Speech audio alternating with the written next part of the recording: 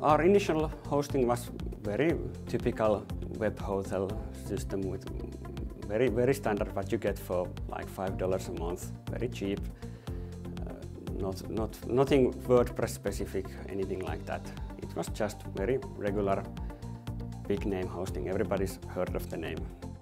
They had some kind of security issue. I don't know what it was. Probably someone at the same server had a leak somewhere or something like that, and hackers got involved, and, and we noticed that there's malware in our plugin code that was being distributed from our server to the customers.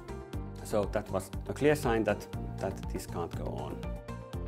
It would have been the case eventually because the need for traffic it would, would override what, what that kind of hosting can provide anyway. So we went for a better hosting and at that point the WordPress specific hosting companies had kind of started up. It was a new thing back then.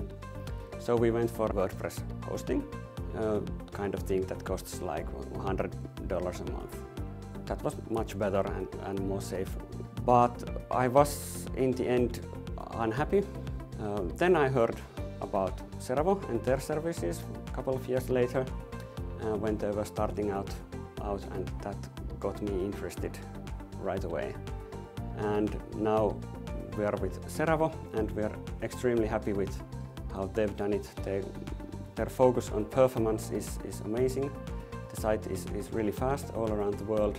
It's the best, best hosting I've ever had. In the plugin market we have this, this uh, specialty case that we host the updates to the plugin on our website. So whenever someone installs Relevanssi Premium, their site will come ask our site many times a day, is there a new update? If there is, please deliver it. And we get like million of those every day. It's lots of automatic traffic, most of them very small requests. Is there a new update?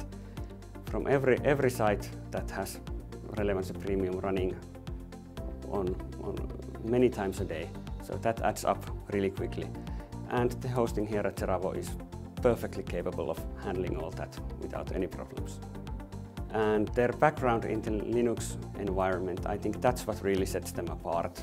They have this amazing skill in, in handling all the databases, all the server optimization, all that. There's no need for uh, worrying about security, there's no need to worry about performance or caching or anything like that.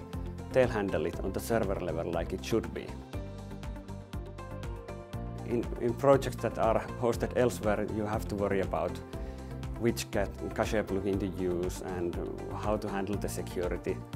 I really appreciate that I don't have to wonder, worry about that at all. It's all handled by Seravo.